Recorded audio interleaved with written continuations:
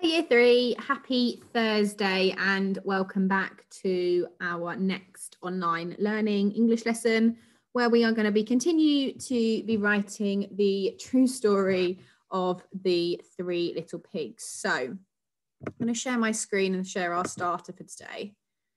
And our starter for today is a um, grammar and punctuation focus. So you might want to think about which conjunction would you use in this sentence?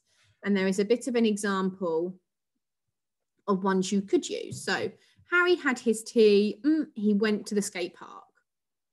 Harry had his tea while he went to the skate park. Harry had his tea before he went, because he went, or when he went. You might have some other ideas as well.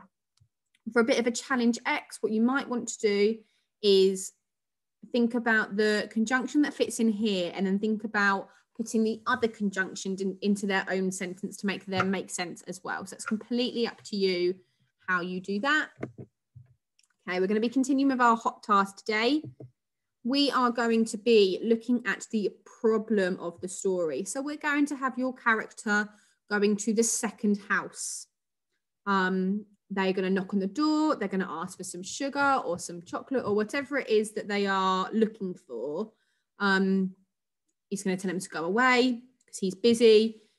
He's going to sneeze, doesn't mean to kill him, but eats him anyway but he still needs the ingredients. So you're doing the second character's house here. Um, and again, as always, thinking about the different features that you might have within your text. So thinking about adjectives describe, thinking about interesting verbs, get them all in there. It's very easy to be able to get most of these in throughout the story.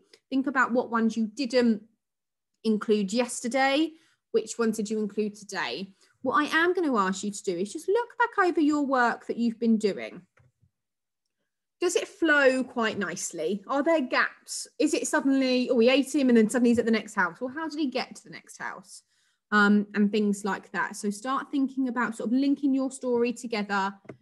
It is great to see all your amazing ideas come together. Um, but we are on to the next problem now. Get a bit of speech in there um, we kind of have that bit where they can talk back and forward, don't they? They knock on the door, no response. The little pig replied, or whatever that might be. Think about um, using your word mat. If I move this out the way, you'll be able to see it. And I will attach this if you're on our Teams group. I will attach this as well so you can use this throughout your writing. I can't wait to see the next parts of your stories. As always, don't forget our always success criteria, capital letters, full stops, letter formation, um, presentation, thinking about um, not just capital letters, full stops, maybe a comma, inverted commas, things like that. Things are those basic um, handwriting, basic writing elements that we always talk about. Please don't forget those just because you are at home. I still expect to see them.